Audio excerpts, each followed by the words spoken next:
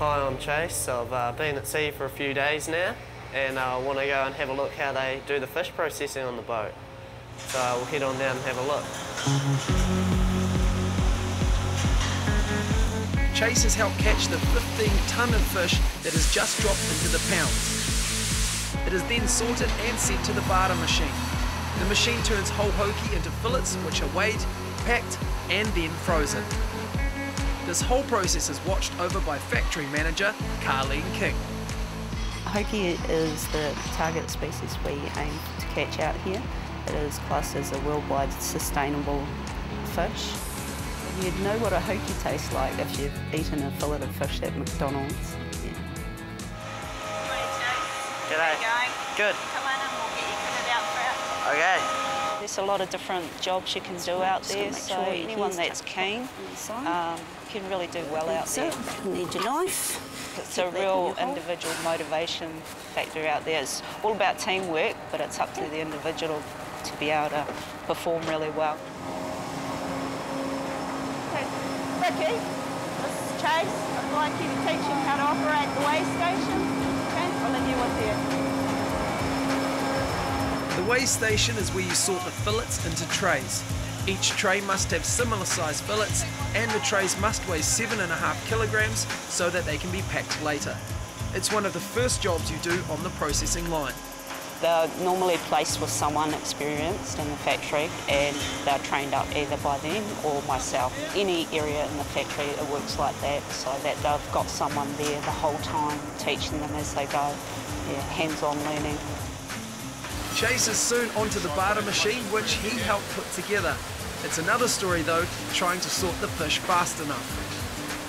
It's really important that they look after the machine. Very expensive piece of equipment, and it's very vital downstairs for us too that it is operated correctly, but he uh, has to maintain a very high speed as well, trying to fill every paddle um, time is against us out here, so it's really important we get it through the factory as fast as possible. To get that freshness through, speed is definitely your aim.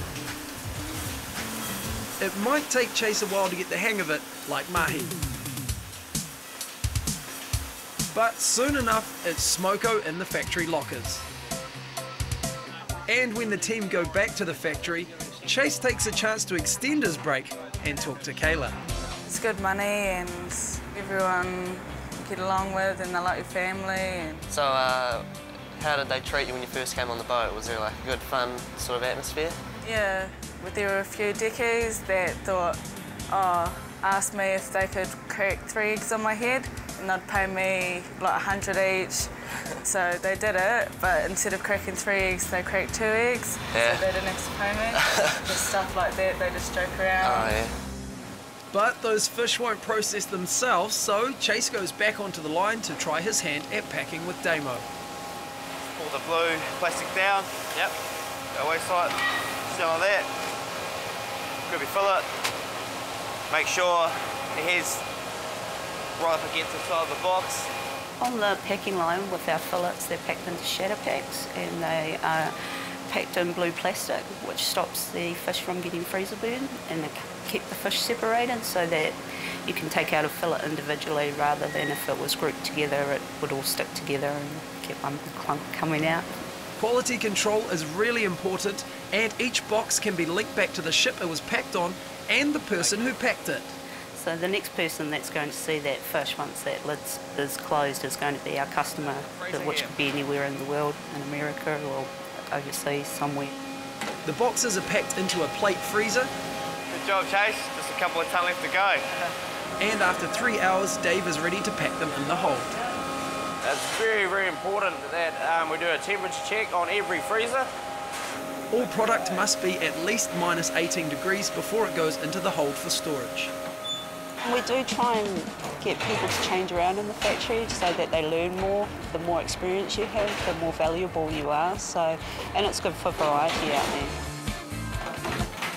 Chase operates the breakout machine while Dave prepares the boxes for storage in the hold.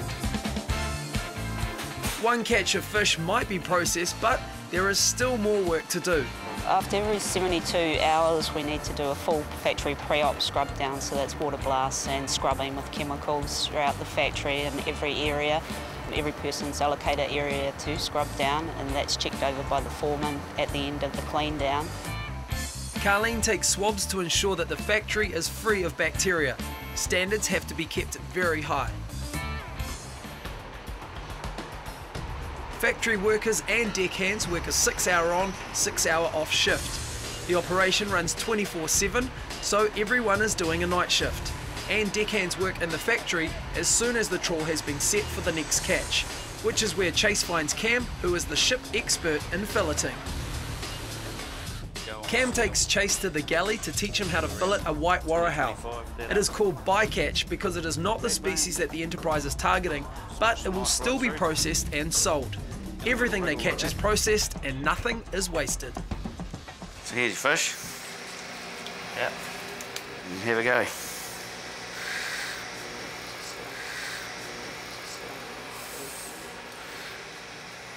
So how long have you been at sea with this boat? Uh, I've been doing it probably 15 years. Yeah, it's great fun. It's a great lifestyle. Plenty of time off and plenty of money to do what you want to do. Yeah. So um, what do you do when you're not working? Um, photography is a great hobby. Yeah. So I get to see quite a few things out here that no one else gets to see. Beautiful sunsets, albatrosses.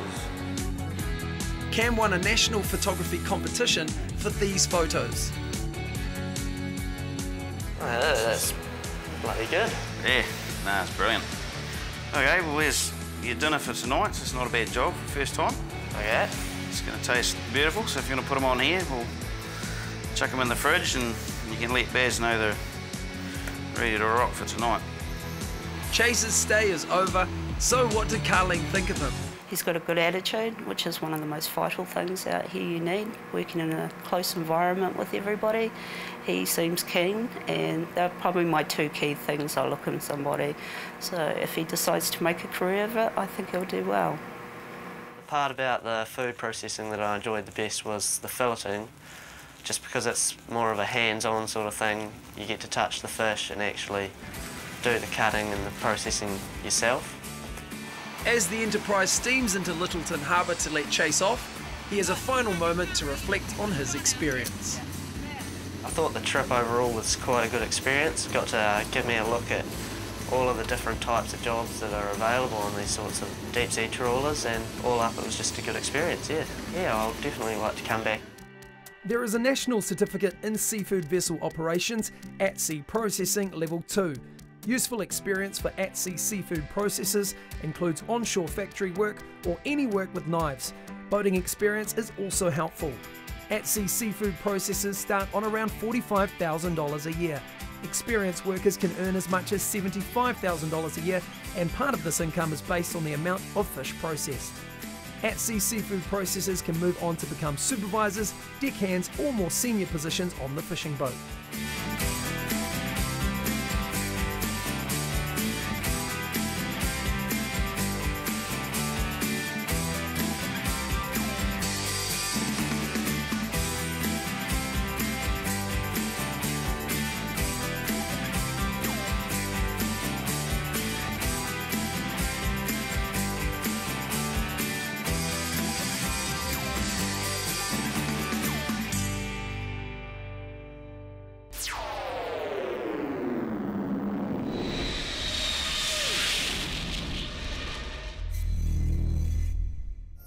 Supporting local content so you can see more of New Zealand on air.